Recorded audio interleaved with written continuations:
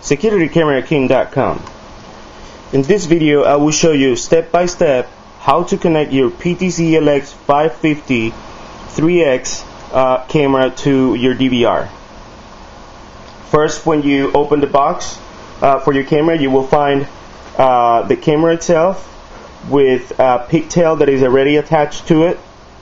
Um, the pigtail comes with the power connector, it comes with the video connector, and it comes with the PTZ control wires.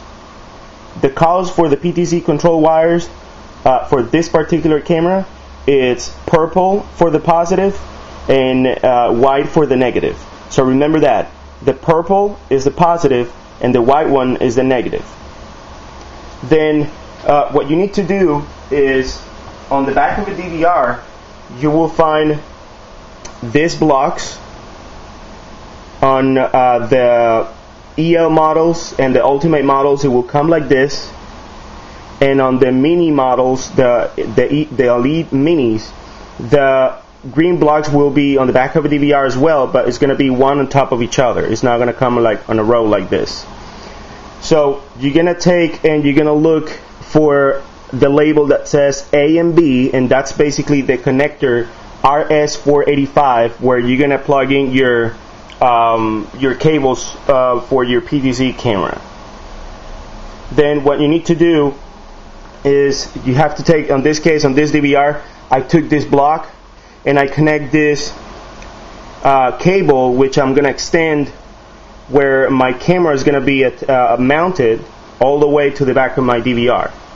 Uh, the cables that you can use to extend the wires could be alarm cable or Cat5 cable. Um, on the alarm cable, you will find two pairs of wires. On the Cat5 cable, you will find four pairs of wires.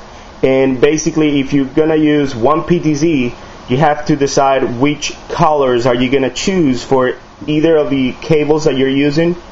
Um, because the the one end of the the the cable has to match the colors that you choose for your positive and your negative.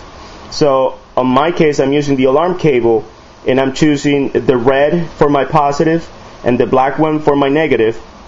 and that's going to be connected one end on the back of the DVR and the other end is going to be connected on the with the camera itself.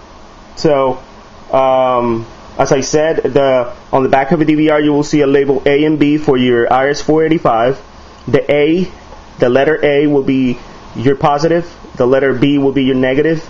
So remember that again, the letter A is positive and the letter B it's negative for all of our DVRs. So then uh, you take the block off and connect your positive and negative. As I said again, uh, my positive will be the red one and the black one will be my negative and and plug it in here then on your PTZ camera you're gonna connect the purple with your red one uh, you can use beanies or you can just simply twist them and then put electrical tape on top of that for demonstration purposes I'm not gonna put anything so make sure I'll make sure that nothing is touching the cable so I don't cause any damage to the camera. But basically that's what you have to do. You have to attach those cables. It's very simple. Uh, once you have it plugged in and everything is configured, it's very simple to use.